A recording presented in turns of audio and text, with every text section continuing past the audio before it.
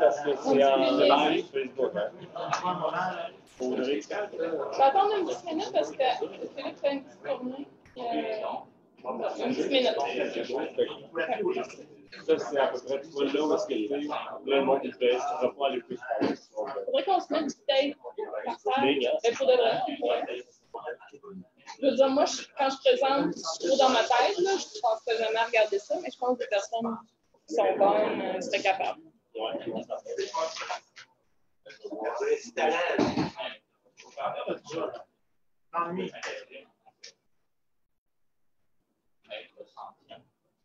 C'est une nouvelle caméra.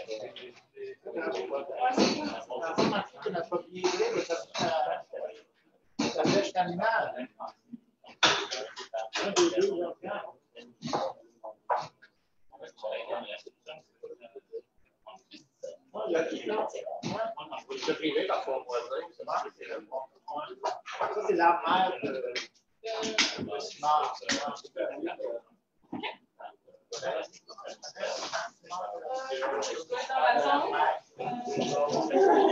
Bonjour, merci euh, à tous d'être venus euh, en ce grand nombre ce midi pour venir écouter euh, Tania Honda, qui est professeure à l'Université du Québec à Montréal. Tania est professeure à l'UQAM depuis 2010 euh, et ses intérêts de recherche tournent autour étudier les conséquences des changements globaux sur les processus écosystémiques. Donc aujourd'hui, Tania va venir nous parler, euh, le titre de sa présentation est Oser la simplicité pour aborder la complexité les traits fonctionnels des arthropodes pour prédire les interactions trophiques dans les sols forestiers. Je te laisse euh, la parole. Merci. Donc, merci beaucoup, Audrey. Merci, Philippe, de m'avoir invité. Je suis vraiment contente de finalement pouvoir visiter euh, et, et vous voir tous. Euh, je disais tantôt, c'est la première fois que je suis de ce côté dans cette salle. Je, je connais la salle uniquement de, de la caméra. Euh, donc, un plaisir de partager mes travaux avec vous aujourd'hui. J'ai osé le mot complexité dans, la titre, le- dans le titre pour euh, faire un petit clin d'œil à, à- à Christian, mais c'est un prétexte pour moi de vous parler de, de processus complexes comme les interactions trophiques, les réseaux trophiques dans les sols. Et disons, je vous vends tout de suite, euh, la simplicité, c'est potentiellement l'utilisation de- des outils, des traits fonctionnels. On a commencé, en fait, euh, moi j'ai un parcours un peu transdisciplinaire, je, je suis formée en- comme botaniste, mais je m'intéresse de plus en plus euh, aux arthropodes du sol et à comment ça, peut nous aider à, comprendre ces processus. Donc, pourquoi le sol? En fait, euh, j'étais euh, sur un panneau hier soir où on nous a contraints euh, de, tout dire sur nos recherches avec une seule image. Et c'était l'image que j'avais préparée. J'ai été piger des images dans l'Atlas de la biodiversité des sols qui a sorti, qui a paru il y a quelques années. Et les sols, rappelez-vous, soutiennent la vie. hein. Donc, littéralement, vous le savez, toute la production primaire dépend d'avoir un sol qui est en bonne qualité, mais qu'on oublie très souvent, c'est qu'on estime qu'un quart à presque un tiers de la biodiversité terrestre à l'échelle planétaire se retrouve sous nos pieds. La majorité est peu connue. Donc, euh, bon, je, m'avance. Euh, pourquoi? On sait qu'il il y y a toute une, série euh, de services écologiques très importants. Euh, parlons évidemment de l'habitat pour toute cette biodiversité. Euh, on a évoqué substrat, nutrition pour les plan- plantes. Euh, on peut penser euh, aux différentes ressources pour les, niveaux trophiques supérieurs, la régulation des pestes. Moi, je suis particulièrement intéressée dans tout le processus de la décomposition de la matière morte, le recyclage des nutriments dans, le sol. Mais on peut penser aussi en, en hydrologie aux diminutions de l'eau de ruissellement, l'infiltration, les réservoirs d'eau. Donc, c'est très important de, valoriser aussi euh, ces sols. Et si on pense à cette diversité qui est très peu connue, voici quelques chiffres, en fait. Donc, si on compare avec euh, les plantes vasculaires où on estime, on connaît 90 de, de la biodiversité à l'échelle planétaire, quand on regarde, bon, ça c'est la macrofaune, hein, donc euh, disons les, ours polaires et toute la faune charismatique du sol, on est à peut-être, bon, les termites c'est exceptionnel, les fourmis peut-être la moitié, mais même les vers de terre, hein, juste 20% Quand on va euh, à, la, à, mésofaune, euh, les colomboles qui m'intéressent particulièrement, on estime qu'on connaît un cinquième de cette diversité. Et évidemment, quand on rentre dans le mode microbien, et puis il y a plusieurs collègues qui travaille là-dessus. On est vraiment dans une frontière euh, importante de la recherche, euh, une diversité hallucinante qui est présente. Donc, depuis que je suis maman, je, lis tout une autre, un, autre type de littérature également euh, en complément aux articles scientifiques. Et voici un livre qu'on avait sorti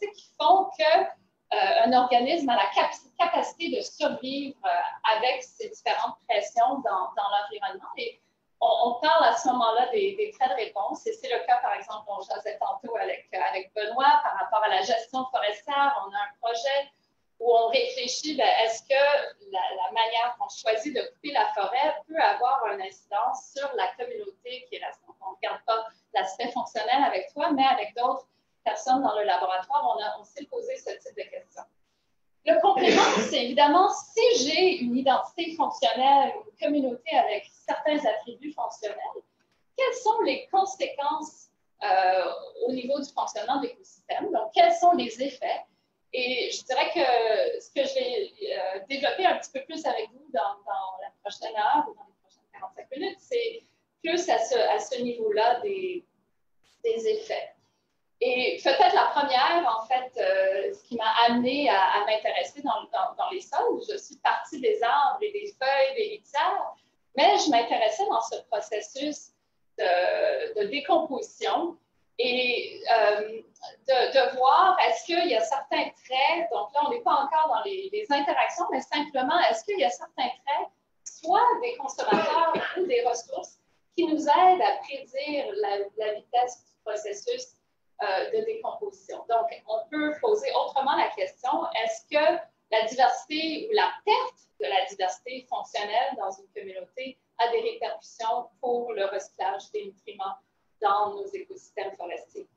Donc, euh, j'ai eu la chance de faire partie d'une équipe qui a fait un travail euh, dans cinq types de forêts différentes, mais aussi en milieu aquatique, parce qu'évidemment, une feuille qui tombe elle peut aussi tomber dans le ruisseau à côté, est sujet aussi à cette dynamique de, décomposition. Et donc, on avait un protocole qui était sur un gradient latitudinal en milieu forestier, en milieu aquatique. Et dans les deux cas, on a comparé euh, le taux de décomposition dans des mésocosmes euh, où on avait assemblé avec des, communautés de litières en particulier. Et, pardon, dans ces communautés, on a travaillé avec des, attributs différents, donc des caractéristiques des, de, de plantes fonctionnelles, soit euh, des espèces fixatrices d'azote et dans, chaque euh, biome, on a choisi des essences qui étaient euh, indigènes, présentes, des espèces qui étaient très peu récalcitrantes, donc décidues, mais qui se décomposent, décomposent très rapidement, des espèces qui étaient décidues, qui se décomposent un petit peu plus lentement, et des espèces qui étaient sympervirantes. Et bon, comme, comme euh, on a déjà parlé, on, a une diversité très importante euh, de décomposeurs. Là, c'était plus difficile pour nous de manipuler les communautés euh, comme on a fait pour les communautés litières. Donc, on a, on a, fait une manipulation passive. On a utilisé des tailles de mailles différentes, donc c'est comme de l'exclusion. Hein. Et avec ce mécanisme d'exclusion, on, on, avait, on avait soit juste les communautés microbiennes, les communautés microbiennes, mais en présence avec la mésofaune, comme les collemboles, les acariens, ou ici, en fait, euh, une communauté assez complexe euh, euh, et, les détritivores, les prédateurs pouvaient rentrer. la manipulation, elle a duré jusqu'au temps, c'était comme process-based. Hein. On a arrêté quand il y avait 40 de la masse restante qui restait, parce que ça variait évidemment avec le climat. Et euh, à ce moment-là, donc ça, c'est la durée euh, de, la manipulation. Euh, et on s'est posé une question qui est assez classique dans, les sciences de la biodiversité. Est-ce que le tout est plus gros, vaut plus que la somme des parties? Hein? Donc, on, avait assemblé dans nos communautés toutes les monocultures, tous ces mélanges basés sur cette, sélection des, type de plantes fonctionnelles et on a testé un, effet net de diversité. Donc, qu'est-ce qu'on a trouvé? En fait, ici en haut, vous voyez l'effet net de diversité et vous voyez qu'il y a un effet léger. Hein, Ce n'est pas toujours consistant, mais overall, on a un effet qui est positif, léger, mais beaucoup moins fort que ce qu'on constate, par exemple, quand on mesure la production primaire euh, euh, dans, dans, des expériences de biodiversité. Mais si on, on, on, regarde les, différents composants, donc vous connaissez peut-être les effets de complémentarité, donc est-ce que c'est vraiment les interactions entre les espèces ou est-ce que c'est plutôt l'effet de sélection qui est la dominance d'une espèce avec un trait particulier? On voit que euh, cet effet est vraiment dû à un effet de complémentarité. Donc, c'est des interactions entre les ressources qui font que euh, on, a cet effet net de, diversité. Donc, euh, un échantillon qui est assez large, hein, c'était 2250 microcosmes, 4800 échantillons qu'on a analysés directement pour le carbone et l'azote.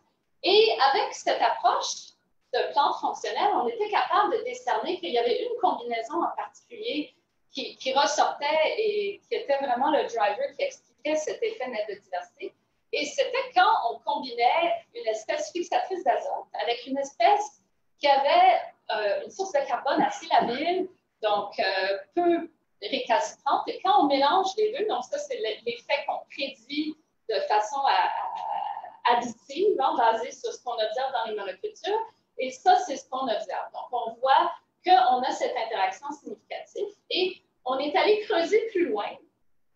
Donc, étant donné qu'on a mesuré l'azote euh, sur chacun des feuilles qui étaient présentes dans ces communautés, on a constaté qu'il y avait un mécanisme potentiel de transfert d'azote. Donc, ce qu'on constate, ça, c'est tout ce qui a été mesuré quand on mélange ces deux types de feuilles ensemble dans tous les écosystèmes.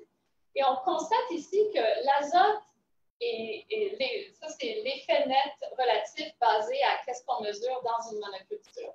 Donc, on constate une perte d'azote sur les espèces fixatrices d'azote quand ils sont combinés ensemble avec cette espèce.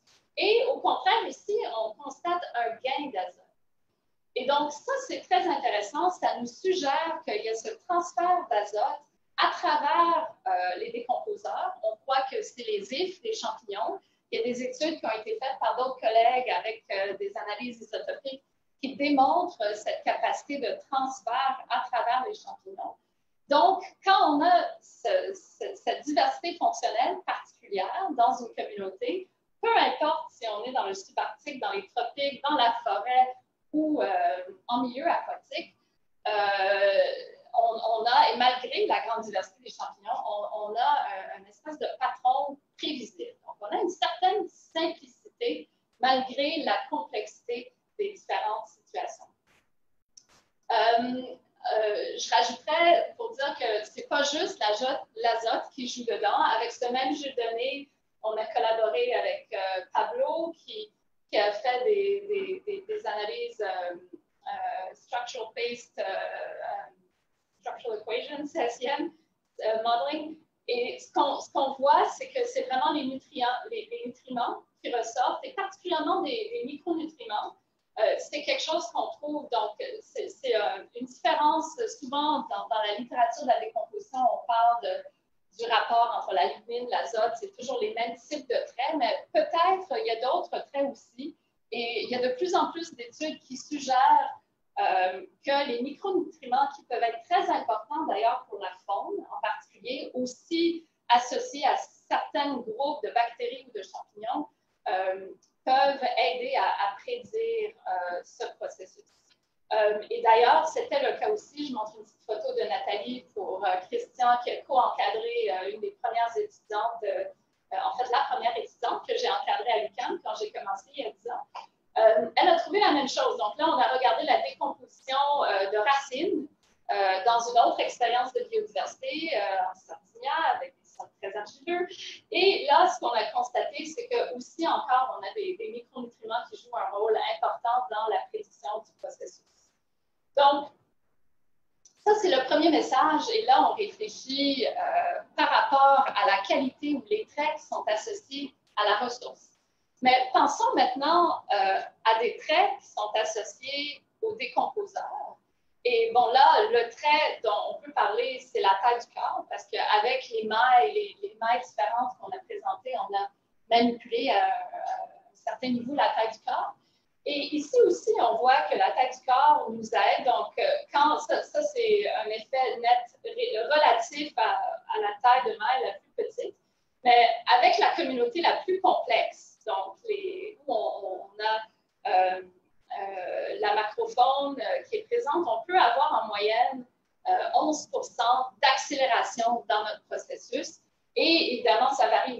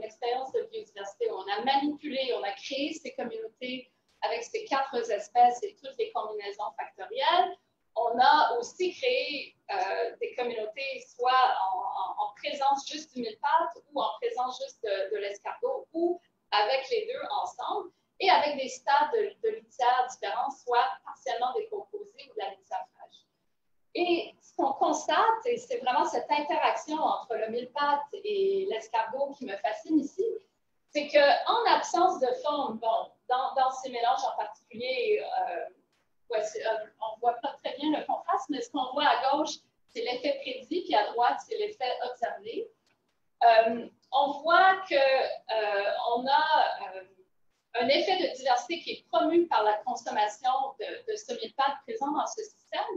Mais quand, quand on rajoute euh, euh, l'escargot, cet effet il disparaît. Et, et, donc, il y a une interaction négative. Pourquoi? Peut-être, je ne sais pas, c'est le mucus de, de, de l'escargot. Il y avait quelqu'un qui travaillait sur l'éminence qui est présent? Elle n'est pas là aujourd'hui. Non, elle n'est pas là aujourd'hui, non.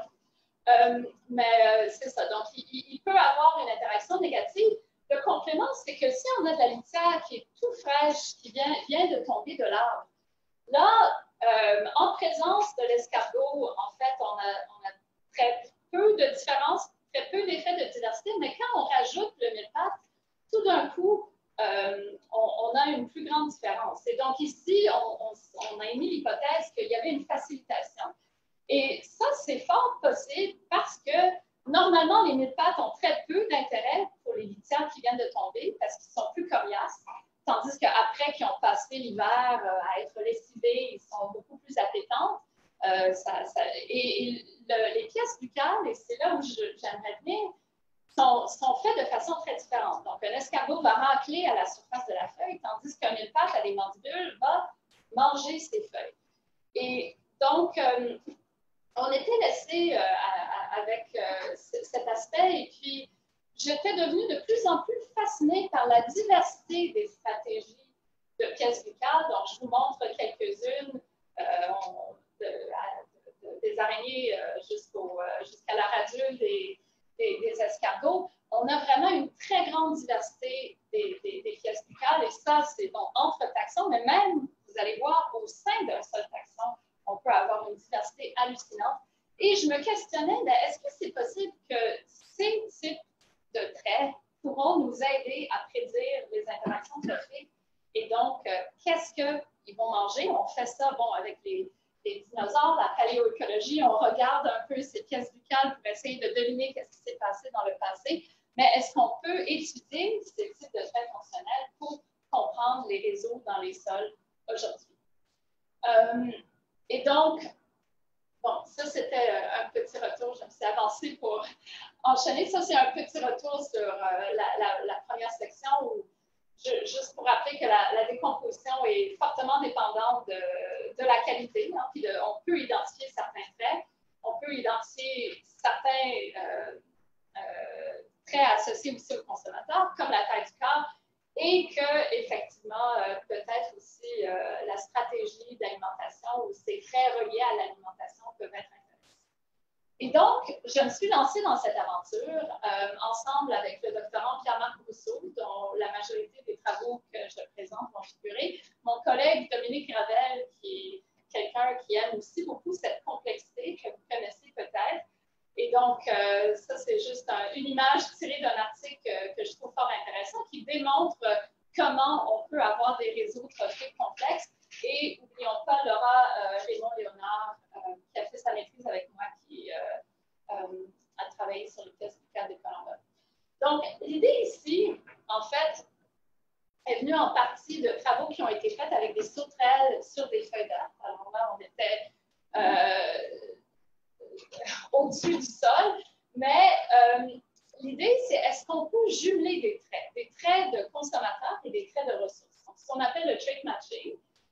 Euh, et ce qu'ils ont fait dans cette étude, c'est qu'ils ont regardé aussi les, les, pièces buccales des sauterelles pour essayer de voir ben, est-ce qu'il y aurait, par exemple, une, corrélation entre la, force mandibulaire d'une sauterelle et euh, l'épaisseur ou la dureté de la feuille, par exemple. Et est-ce qu'on peut utiliser cette règle pour prédire si la sauterelle est capable, oui ou non, de consommer la feuille? Donc, c'est le même principe qu'on a essayé de développer. Euh, on a un article qui, vient de sortir où on, et ce que, je vais vous, vous montrer, qu'on on démontre une covariation spatiale. Donc, on n'a pas mesuré cette interaction sur tous ces différents taxons, mais pour qu'une interaction ait lieu, il faut qu'au moins on a cette covariation entre les traits des consommateurs et les traits de ressources. C'est comme le premier prérequis, si on les voit ensemble dans, dans l'espace, le potentiel d'interaction est là. Donc, ça, c'était notre première étape pour essayer de voir, OK, est-ce que ça pourrait être une piste? Donc, je vous amène dans la forêt temporée où vous êtes très confortable. Euh, ici, ça va être plus proche de, Montréal. On a eu deux sites d'études dans les Montérégiennes, Mont-Saint-Hilaire, Mont-Saint-Bruno, où euh, j'habite. et le mont Écho qui est juste à côté du, mont Sutton.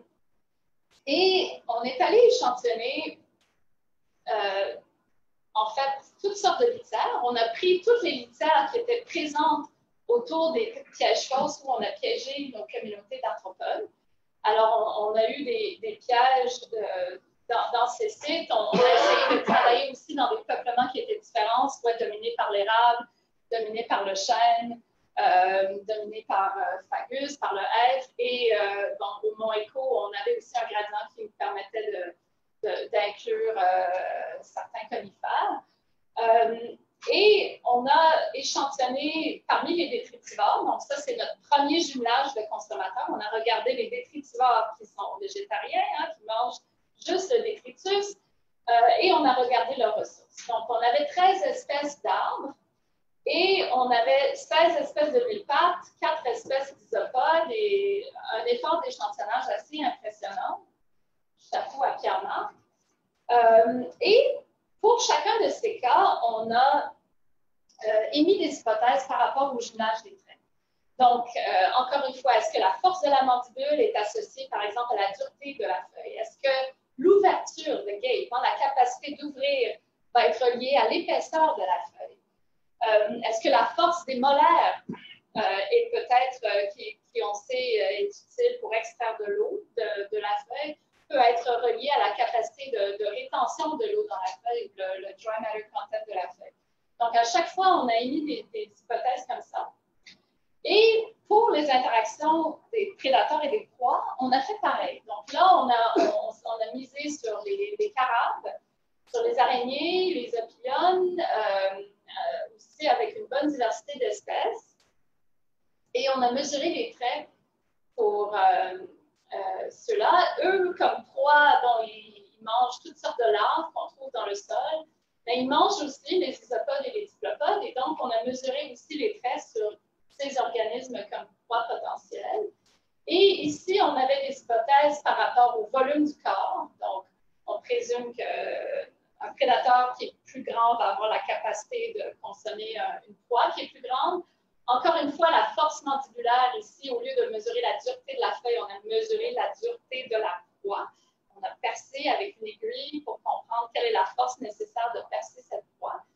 Et puis, l'avantage mécanique, la capacité de. Donc, ça, c'est une propriété aussi de, des mandibules, comment on peut déployer pour euh, gérer la, la, proie. Et là, on a corrélé, on, a testé la corrélation avec euh, l'épaisseur de la proie. Et à travers tout ça, on avait aussi des hypothèses par rapport à différents indices de diversité fonctionnelle. Donc, euh, il y a l'hypothèse de, concentration de, ressources, que euh, les traits qui sont le, plus représentés sont plus associés aux métriques qu'on connaît comme étant le Community Weighted Means. Donc, si j'ai un certain trait qui est très dominant parmi les consommateurs, euh, on, peut avoir aussi, euh, peut-être, on peut imaginer que le, trait jumelé va être très abondant dans la communauté des ressources. Ou peut-être, euh, cette différence, c'est peut-être plus la dispersion ou la diversité fonctionnelle que si j'ai une très grande diversité de traits parmi mes consommateurs, je vais avoir une diversité de, traits de mes ressources. Donc, avec les traits qu'on a mesurés, vous allez voir, on a calculé ces indices pour voir si, si ça diffère. L'hypothèse alternative, c'est qu'en fait, euh, peut-être qu'il y a plus un contrôle qui, est top-down. Donc, dans, cette réflexion antérieure, on, se base toujours sur la ressource. Hein, c'est une réflexion très bottom-up. Euh, la, réflexion alternative est peut-être euh, une qui, est top-down. Donc, qu'est-ce qu'on a trouvé? Eh bien, voici le tableau de synthèse. en fait, peut-être le, le premier message, c'est que quand on regarde vraiment l'identité fine des espèces, on a une meilleure capacité de mesurer la covariation des consommateurs et des ressources. Euh, dans les deux cas. Donc, ce que vous voyez en haut, c'est les détritivores et la litière. Ce que vous voyez en bas, c'est les prédateurs et les proies. Cependant, les traits nous permettent quand même d'arriver à un estimé de un tiers de cette covariation. On, est en haut de, de 0.3. Euh, on peut, euh, dans les interactions prédateur-proie, c'est même plus fort. On peut aller jusqu'à 0.44. Et euh, donc, euh, il y a de la variabilité, ce n'est pas toujours significatif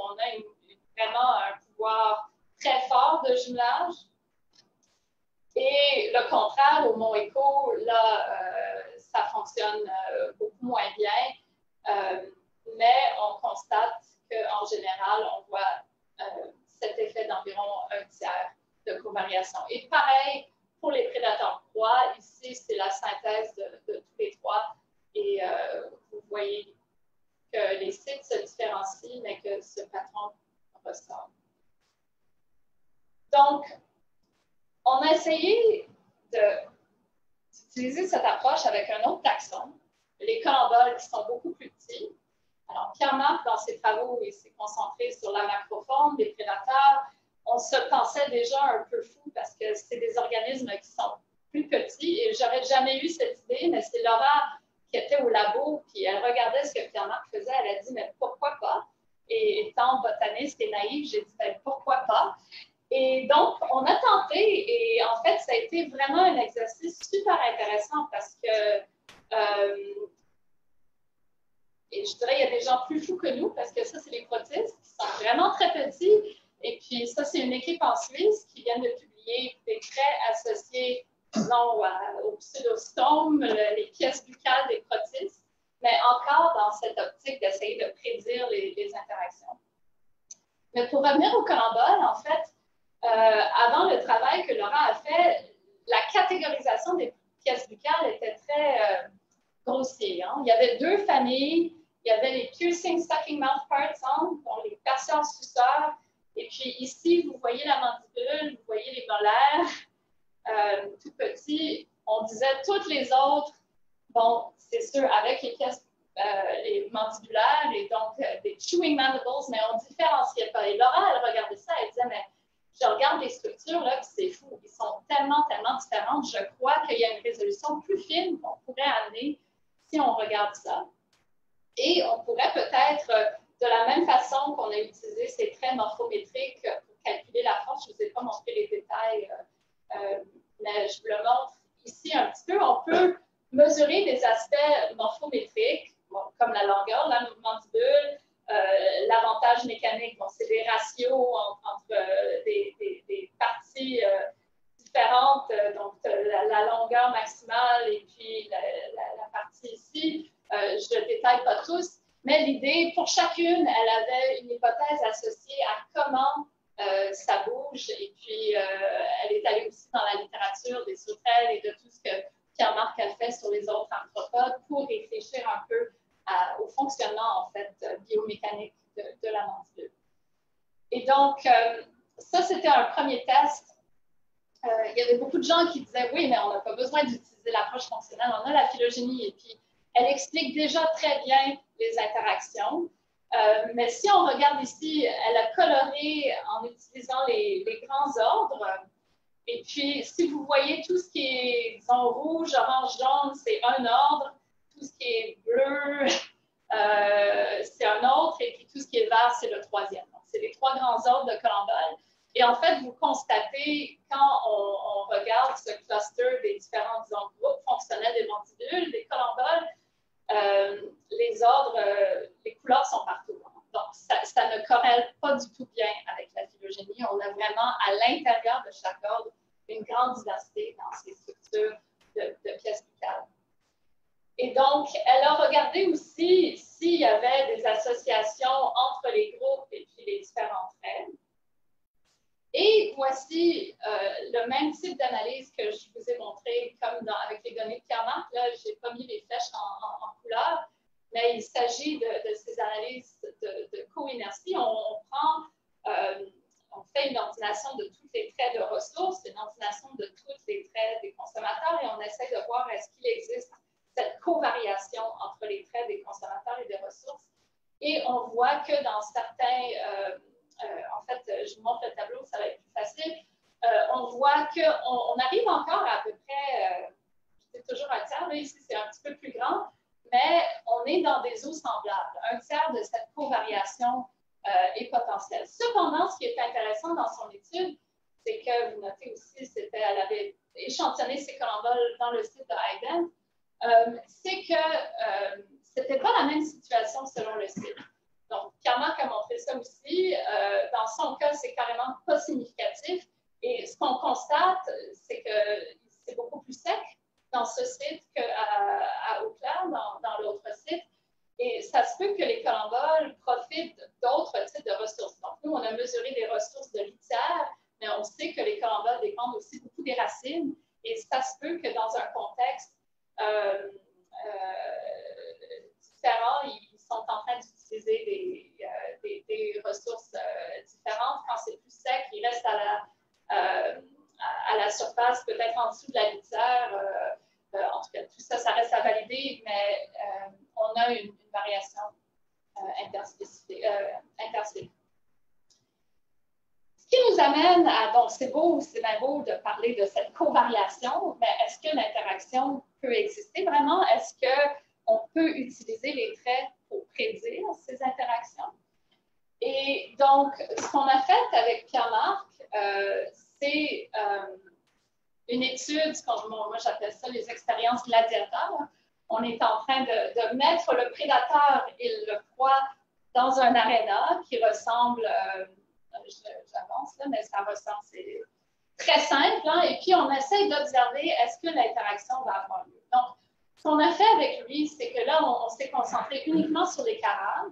Encore une fois, on s'est doté d'hypothèses de jumelage de traits entre les consommateurs et les ressources. Euh, donc, c'était la longueur du corps, la force mandibulaire, la, dureté de la cuticule, du cuticule, l'aperture, l'ouverture de la mandibule, le body width, l'épaisseur de la proie. Et pendant 48 heures, on a procédé euh, pour une durée de 48 heures. On a donné 48 heures pour le prédateur de tuer la proie. Ils n'avaient rien d'autre à manger. Euh, on a testé 475 interactions différentes. Hein. Donc, euh, ça avec une vingtaine d'espèces de carabes et 115 espèces de proies. On a vraiment misé sur une, diversité. Bon, ça, ça c'est des carabes, toutes euh, ici, on a triché un petit peu, on est sorti de la forêt parce qu'on voulait maximiser vraiment la diversité des traits. Donc, la majorité des espèces se retrouvent dans la forêt, mais on est allé chercher quelques extrêmes pour tester ce principe de, de, jumelage. Et les proies étaient aussi euh, très diversifiées. Et donc, ça nous permet de construire une espèce de, de matrice d'interaction réelle donc, à chaque fois que la proie a tué le prédateur, on a une petite case qui est, verte.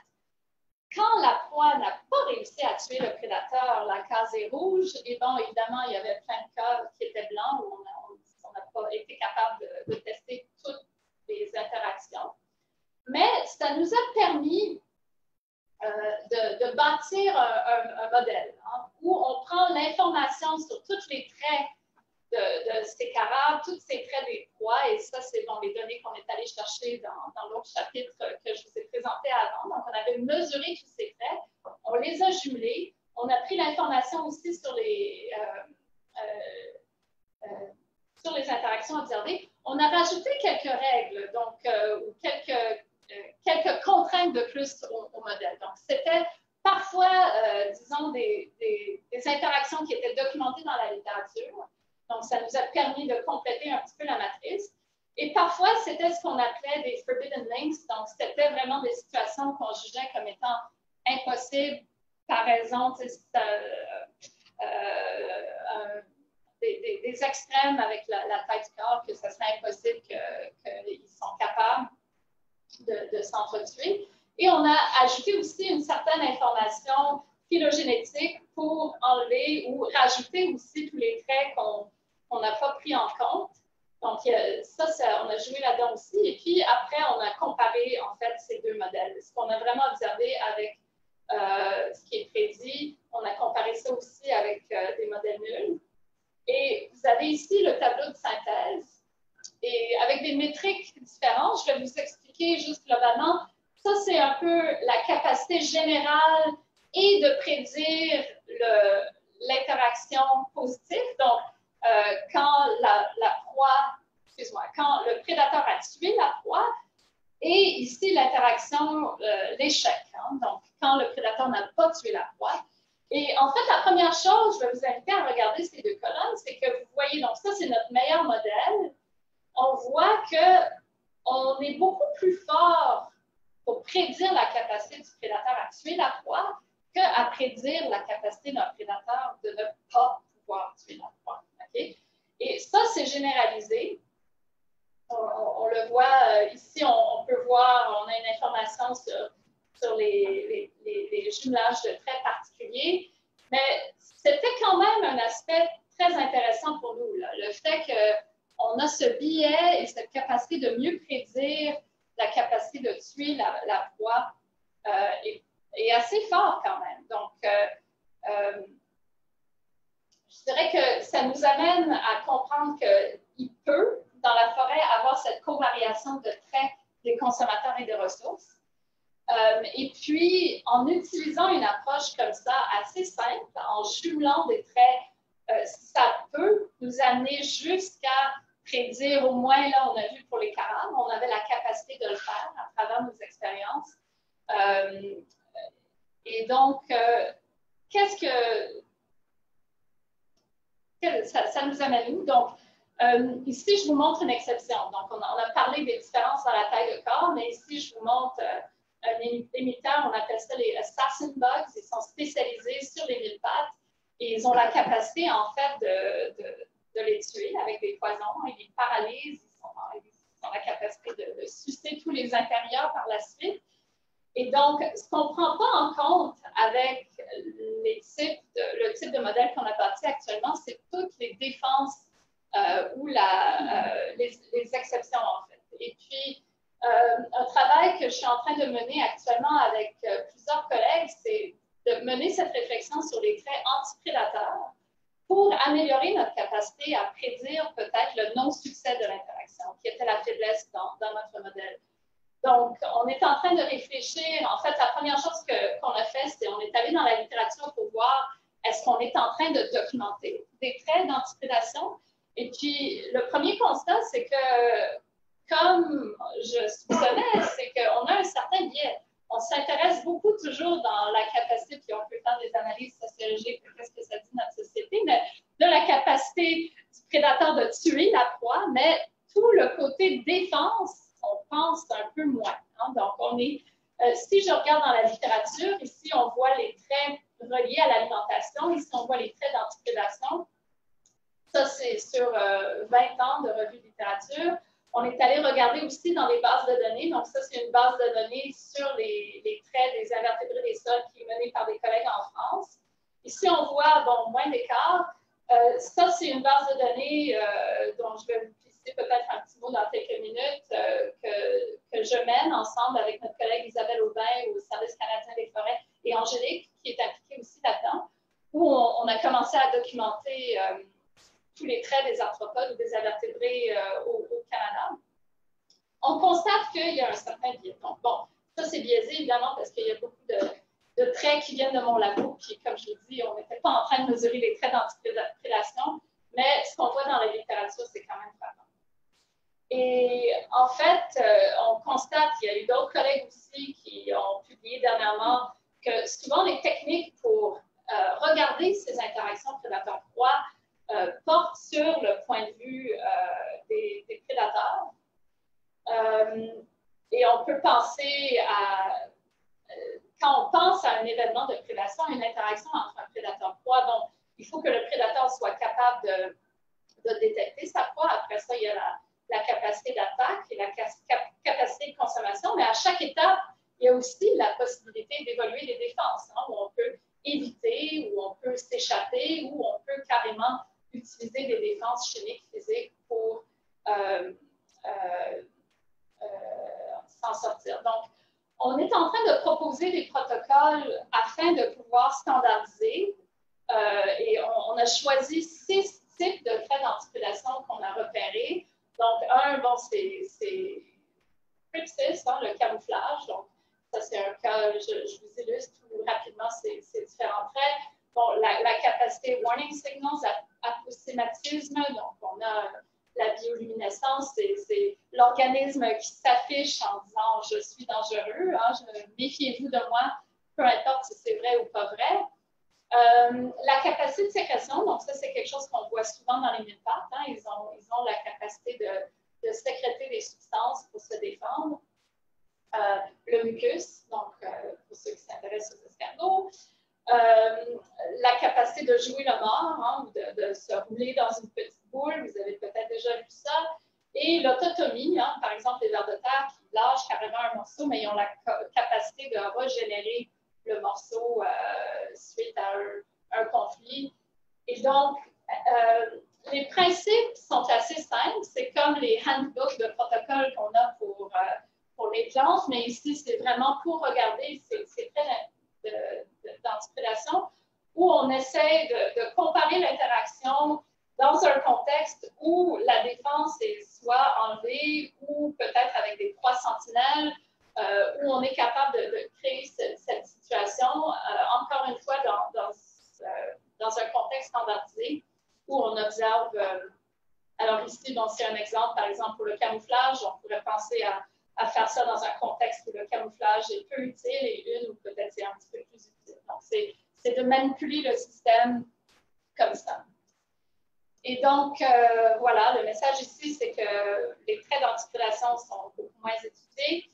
Euh, peut-être que ça serait intéressant de le faire et puis on espère proposer des outils pour le permettre. Euh, pense, je vais sauter là-dessus, c'est des petites réflexions par rapport à l'approche fonctionnelle. Mais je vais juste clore avec euh, un mot sur cette base de données. Donc, sachez que c'est quelque chose qui existe et si jamais il y a des, gens qui travaillent avec euh, les invertébrés et qui ont un intérêt soit d'utiliser des données ou euh, de, de de, mettre leurs données, déposer, merci, leurs données.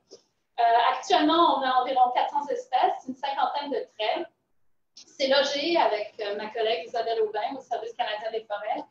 Euh, et bon, le principe euh, avec le module de littérature, c'est que comme elle utilise pour topic, s'il y a quelqu'un qui a envie de prendre des données, on demande un petit effort pour aider à complémenter et enrichir la base de données, tandis que pour le module empirique, c'est plus ce principe de data dating où on met les gens ensemble et puis on laisse les chercheurs négocier les modalités mais les métadonnées sont logées là pour que les gens sachent que, ça existe. Voilà. Euh, et peut-être un dernier clin d'œil à ce que je suis en train de développer maintenant. Donc, euh, euh, grâce à mes collègues qui travaillent beaucoup en foresterie urbaine, je m'intéresse davantage sur le milieu urbain. Donc, ma prochaine, le, CSNG Découverte qui a été financé maintenant, c'est d'amener tous ces types de questions qu'on a abordées dans, dans euh, les forêts euh, naturelles, mais de réfléchir un petit peu plus à quels sont les facteurs qui régissent les communautés de sol urbain euh, et de mieux comprendre aussi les modes de gestion, de peut-être travailler pour, bon, évidemment pour les arthropodes, quand on enlève toutes les litières, toute la structure, c'est pas très favorable. Donc, est-ce qu'on peut travailler peut-être pour favoriser aussi cette biodiversité euh, et d'étudier comment euh, ça influence euh, le fonctionnement des sols? Donc, c'est les perspectives en cours dans notre équipe dans, les prochaines années. Merci beaucoup.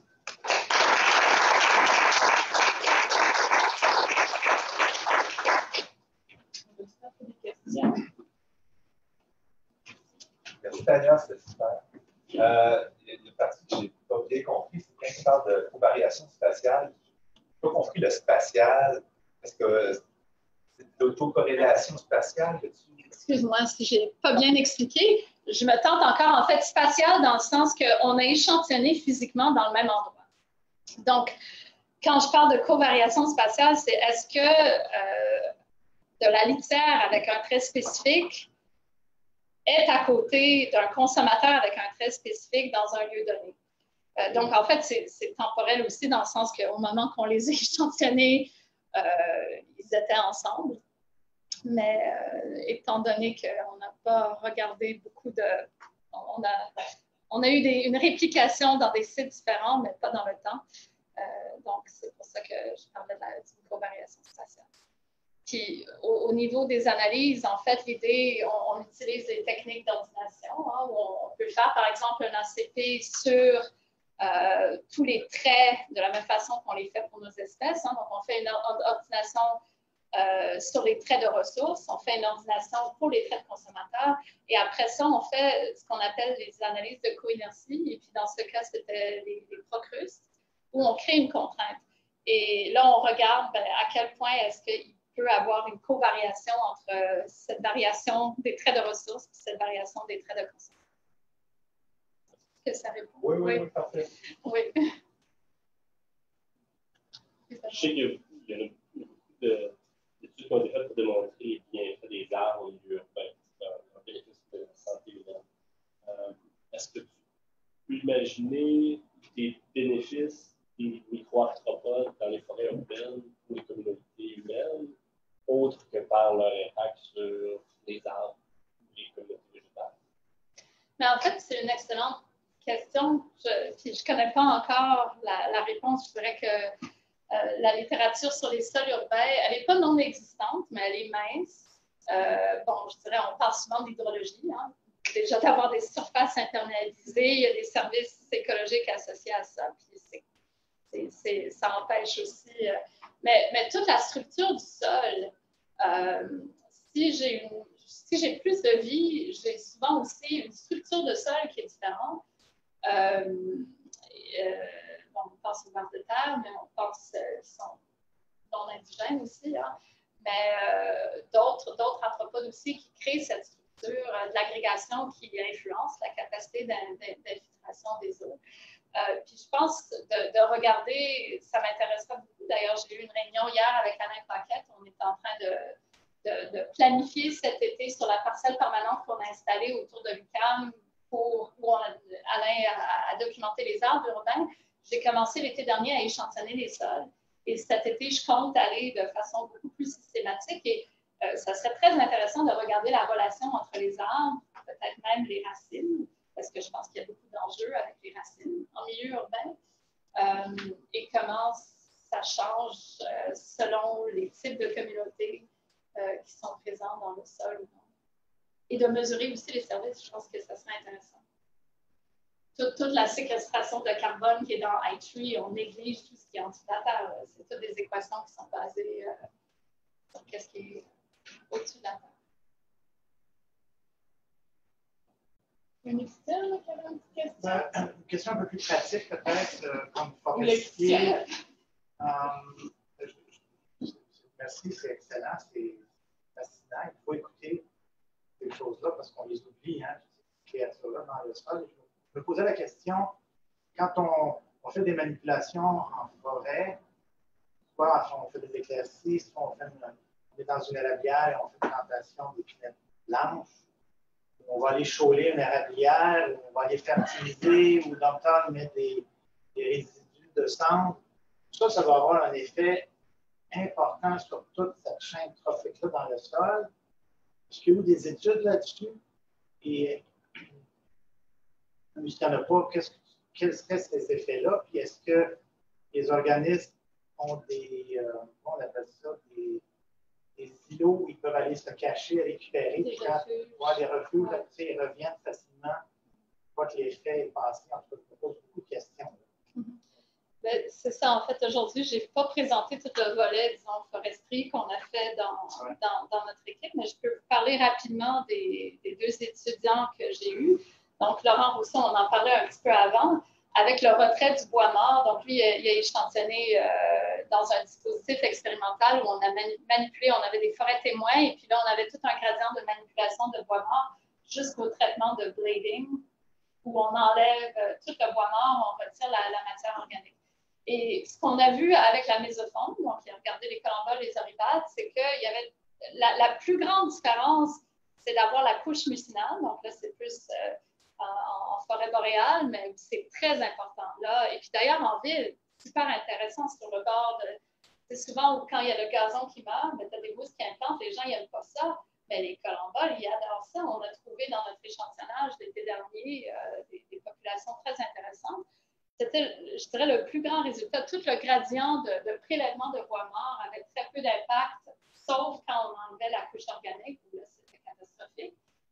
Euh, ça, c'était l'étude de Laurent. L'étude de Laurent, elle, elle a échantillonné dans IDENT, où là, elle s'est posé la question par rapport aux essences indigènes ou non indigènes. Donc, je vous ai montré les, les 12 arbres de IDENT au début. Hein.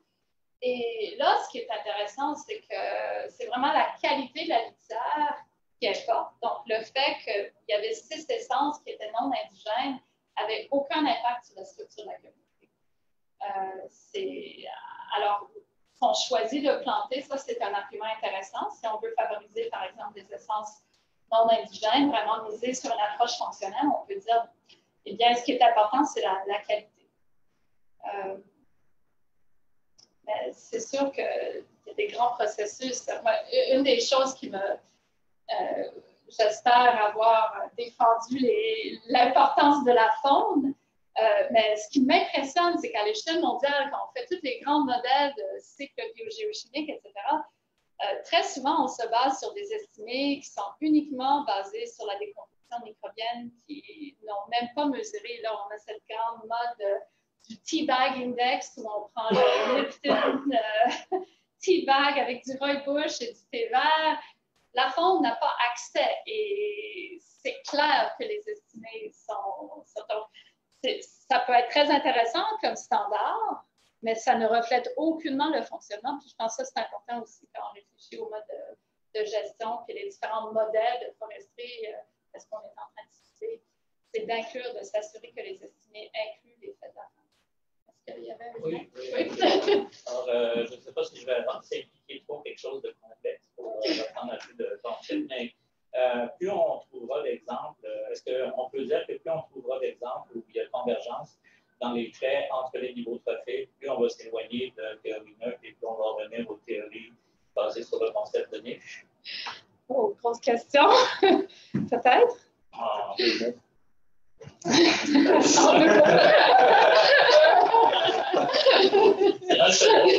Question 5, mais on veut une réponse complète.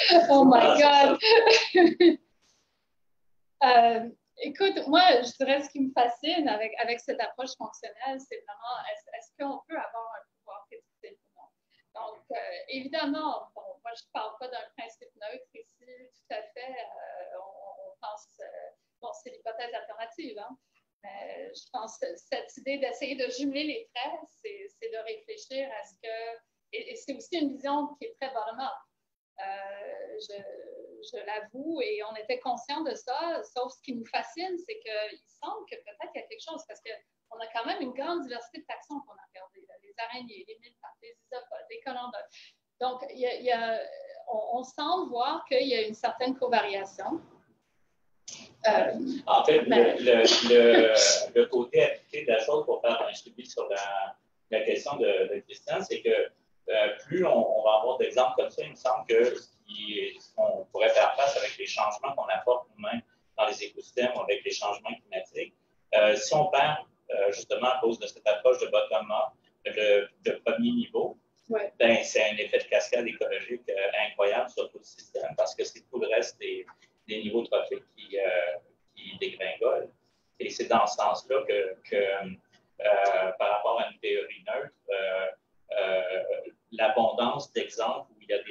de ce genre-là, comme tu le démontres, euh, devraient nous apporter euh, à être un peu plus précautionneux sur ce qu'on fait encore plus. Parce que les choses vont peut-être pas se réorganiser simplement, ou en tout cas d'une manière où la productivité est, similaire à ce qu'il y avait auparavant. Est-ce que tu penses qu'il y aurait des effets de cascade écologique par rapport à tes observations? Euh, nous, c'est encore une grosse question. Euh, c'est possible.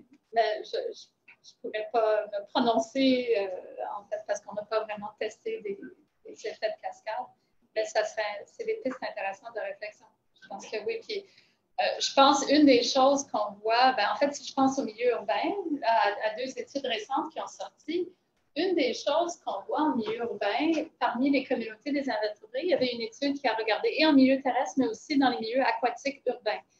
Et on constate que tout est en train de devenir plus petit. Et il y avait deux grandes publications là, qui ont sorti toutes, Body Size, OK, est-ce que ça veut dire quelque chose? Ben, peut-être, si on pense à ces types d'interactions, si je suis plus petit, peut-être j'ai des modules qui sont moins fortes, puis ça me permet d'utiliser moins de ressources. Et donc, toute cette résilience euh, peut être impactée. Mais ça, c'est un constat. Avec le filtre urbain, les invertébrés, et en milieu aquatique et en milieu terrestre, sont en train de devenir plus petits. Des espèces plus petites ou au sein d'une espèce? Euh... Je pense qu'on observe les deux. Je crois, euh, dans, dans ces deux études que j'ai en tête, c'est plus au niveau des espèces, mais je crois qu'il y a d'autres études qui regardent aussi euh, la variation intraspécifique. Puis, en fait, c'est intéressant. Il y a de la plasticité, il y a peut-être. Euh, mais. Je pense qu'il y a moins de place aussi cachée, mais vous en êtes plus petit, vous pouvez cacher. Peut-être, peut-être les îlots de chaleur, surface. Euh, surface area to body ratio. I don't know. Il y avait une question. Euh, J'allais dire euh, une dernière question. Ben, c'est pas une question, c'est euh, en fait pas de promotion parce que je m'intéresse aux masses. Moi, je, je te parler des produits chimiques. Donc, euh, j'ai des molécules intéressantes dans les masses. Justement, c'est fascinant ce, ce travail-là. Euh, chaque cheval de cire, c'est une là je pense qu'on prend la molécules. Je pense qu'on pourrait peut-être euh, de collaboration. Tu viendras dîner avec nous Merci. ben, merci à tous. Merci à Tania.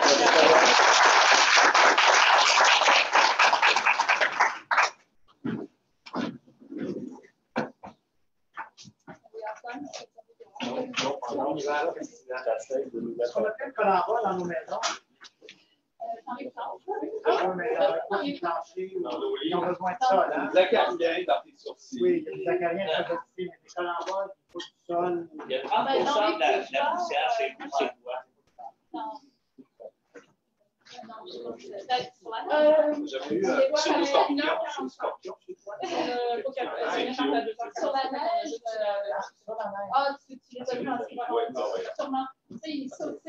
il y a euh, pseudo As-tu mangé là, pour vrai?